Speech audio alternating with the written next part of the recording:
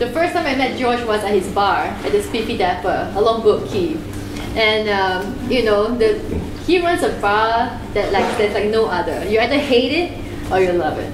You know? but I have to say the drinks are good, so go try it. They're, they're now in Amoy Street and the bar, the bar is bigger now, so you can have more people in it. So that's good. But if you look at um, the Spiffy, da- Spiffy Dapper's Facebook page, it's quite hilarious, quite entertaining to read. Did you write all that stuff? Yeah. So it's all So when I asked George to come speak at Fuck Up Nights, the first question he asked, can I swear? And I'm like, it's called Fuck Up Nights, you know? And yeah, we do a reasonable amount of swearing here, but uh, you've that been warned. control right there, man. Yeah. okay, so uh, I won't waste your time. I'll let you take the floor. You want the clicker? Yeah. Okay, great. This one? Yeah. Brilliant. Who is this?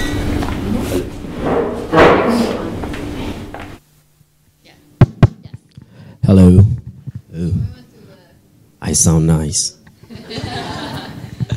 so, um, great. Um, so, like uh, Emily said, the first question I had was, uh, "Can I swear?" And uh, I was thinking I'm going to swear a lot, but then Calvin came with his kids. But then I checked with Calvin if I can swear, but he said, "Okay, so I'm going to swear anyways."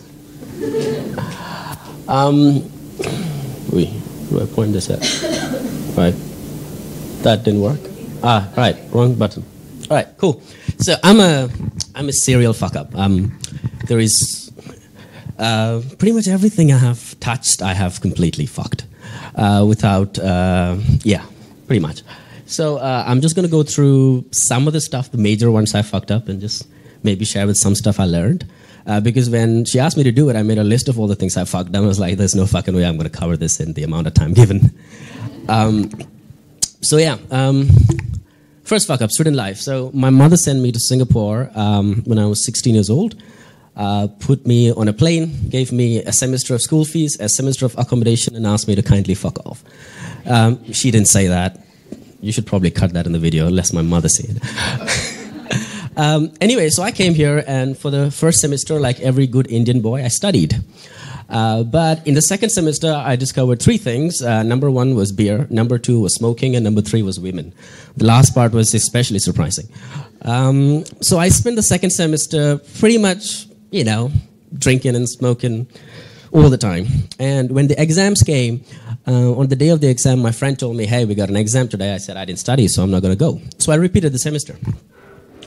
Only later did I realize in Singapore, unlike in India, a week before your final exams for the semester, there's a makeup session where the lecturers basically give you 90% of the answers you need to pass the exam. That was a strange fucking phenomenon for me. Because in India, you don't study for at least a month before your exam, you're completely fucked. So I was like, what the fuck, Singapore? What? This is completely horrible way to do education. Um, then my friend told me, and I, at this point in time, I was somebody who could remember a lot of things. I was, you know, but I couldn't, I didn't really know what to do with the things I knew. So he told me, don't worry about knowing things, figure out how to find things. And that was uh, one of the biggest experiences, learning things that uh, Singapore educational system gave to me, if nothing else.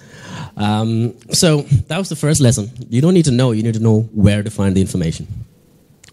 The second fuck up uh, during that time was um, I was working as a waiter. I was working my way through school, and I don't know if you guys remember there was the SARS epidemic, and I was working at a restaurant in Clarke Quay. And during this time, the restaurant was going through bad times, and I didn't have a job. Uh, so I couldn't pay my rent, and I had to live for about a, a month on the streets. And it was a funny thing because before then I had a computer and a bicycle and you know all kinds of gizmos that a teenage boy needs. And all of a sudden I'm out on the streets. I'm um, living out of parks. I had in that time NTUC had one dollar loaves of bread. I had a Nutella and Narcissus um, stewed pork by the tin was my luxury for the week. Um, so that was that was a weird time, but looking back, I realized that was probably some of the happiest times of my life. That is when I realized that I do not need things to be happy. I need me. I need presence of mind. I need the ability to be alive, and that really changed my uh, life philosophy going forward. And now. Um, my woman always tells me that I always choose the most boring things. She does not allow me to choose my bed sheets because, you know, it's always boring. But then again, the reason for all that was You know, I now like minimalism as opposed to maximalism, some shit like that. First job. So eventually graduated and um, I started applying for jobs, but I didn't get the jobs because applying for CEO positions, and for some reason they didn't feel I was qualified. so um, I got a job as an apprentice bartender in a bar that was about to open. Two days before we opened, the guy who's supposed to set up the bar fucks off. And the boss is like, George, can you set up a bar? I'm like, fuck yeah. So I used the first lesson, which is know where to find stuff, and I Googled, how do you set up a bar? I made a list of all the things, and I set up the fucking bar. Uh, the first day was funny because I didn't know how to do a, you know, open a keg, so I tried stabbing you with a knife. That was, that was weird. Um, anyways, my boss was not there to see that day, and um, I spent the next one and a half years working my ass off. I, I, really, for the next one and a half years, I didn't take a single day off. I didn't take a sick leave. Like, end of which I blacked out, and I left the company. But during this time, I had become a shareholder and a director of the company, and I thought that was a great thing, and I was given that because I'm a great fucking employee. Ha. But that was not the case. So after I leave the company, the owner of the company fucks off to another country, is, and he does not do compliance, he didn't pay suppliers, blah, blah, blah. And fuck. right? So there's a couple of companies, and I spent pretty much the next one and a half years thinking I was going to go to prison, my life is fucked, I I was just doing all kinds of stupid things. But then I realized um, I have to take control of my life, and I tried to do it. And I looked at the problem and I tried to solve it. I started by learning the company law, started doing the accounts myself, and I got out of the situation about three years later. And the two important lessons I got from there is this trust people and make sure you hold a fucking rock in the other hand. Second thing is, problems are never as hard as they look. I, I always thought the problems were horrible, like it's just to end me. But it's your, if you just get up, look up, look at the first problem, chip away at it, and it's to be like fucking horrendously, like ridiculously, stupidly slow. But if you get it, eventually you'll be able to get over the issues that you're facing. Ah, brilliant. So, fast forward, I had a lot of sh- shit in between. Um, Anyways, then I managed to hustle a bar. It was actually a hustle because I didn't have any money. A friend of mine told me that there's somebody who has a space. So I went into, I got this guy to talk me up. Then I talked to him like I'm doing him a fucking favor and I'm I'm basically opened a bar. We didn't have licenses or a lease or anything like that. And after about one year of operating, I realized that, hey, I have to make this shit legit. So I found a place in Little India. I signed the lease. And two days later, the fucking riot happens. I'm like fucking Indians.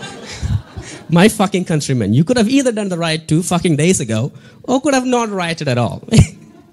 Anyways, there goes the plan of the bar because, you know, URA and Singapore Police Force do not want to touch anything. I try to make it a cafe, they say no way. So eventually I decided to build a co working space. so I bought the wood and I basically spent six months building with wood and I built a fucking co working space. By this time, I ran out of money and I had to take care of the other business, which I was not looking after. So I didn't get any time to sell that one. So, you know, my co-working place is now the place where I stay. Lost a fuck ton of money there. A lesson I learned from this was this. Uh, right? Sometimes it is just luck. There's nothing you can fucking do about it. Right? Just, just completely out of your fucking control. But the important thing is this. Sometimes when shit like that hits you, there is really no you know, best way or wrong way to go about it. Because I took money from people to build it, and thinking back, I would owe a lot of people a lot less money if I stopped and just cut that away right now. And I owe people a fuck ton of money now. But uh, but now, as my businesses have grown, it's now grown as a it's now a space for my employees to come together. It's now my office. So there's really no way of, uh, as uh, Steve Jobs said, right? Like connecting the dogs backwards or some shit like that. That's basically what happens. Um, yep. ah. So, gonna be fast with this one because I failed a fair bit of restaurants. One, two, three, four.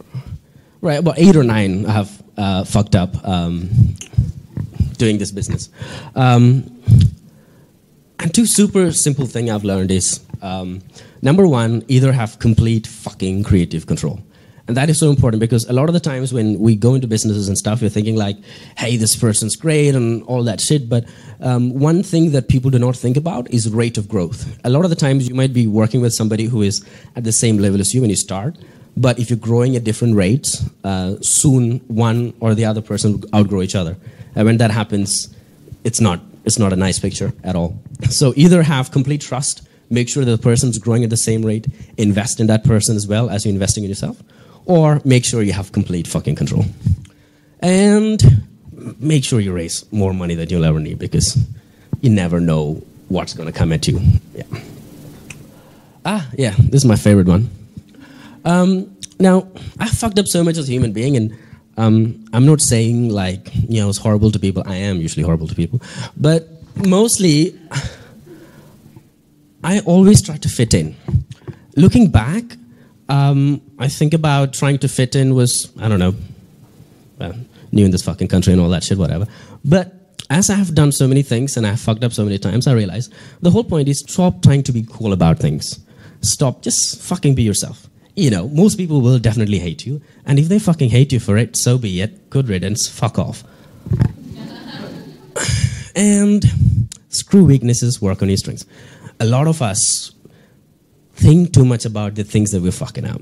Really, it does not do any fucking favors to anybody. Nobody wants to be with people who are complaining all the time, think talking about the weaknesses all the time. Fuck that shit. People want to be around with happy people who are doing shit. So do stuff, work on your strengths, fuck your weaknesses. You can work on that when you're fucking old like Calvin. um, ah, thank you.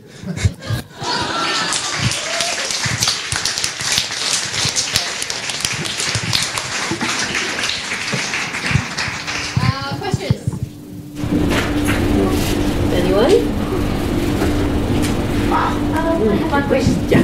Uh, so did, did you ever think when things went really bad, uh, instead of looking at the problem, have you ever come to you, why did I start this in the first place? And how, what did you say to yourself when you thought that way?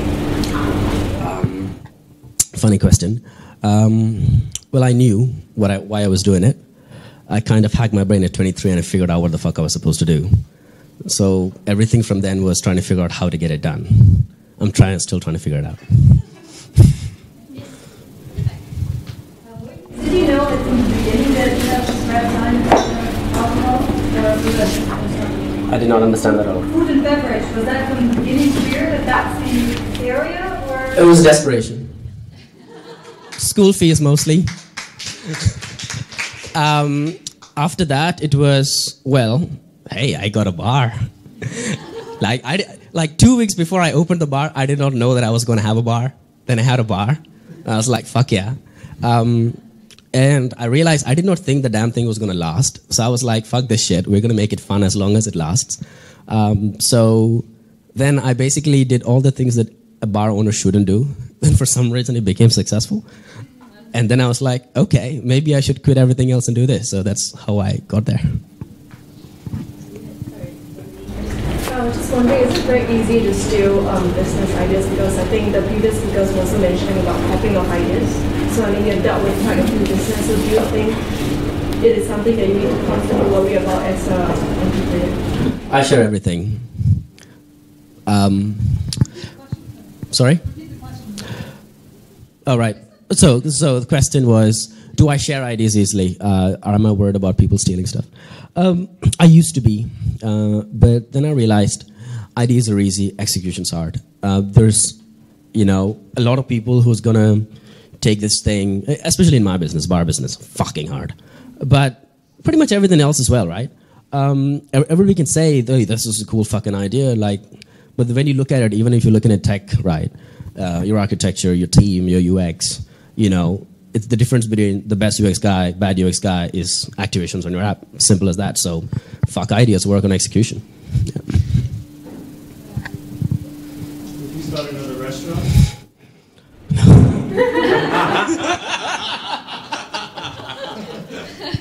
yeah. What's the most scared you've ever been? Ah, funny one.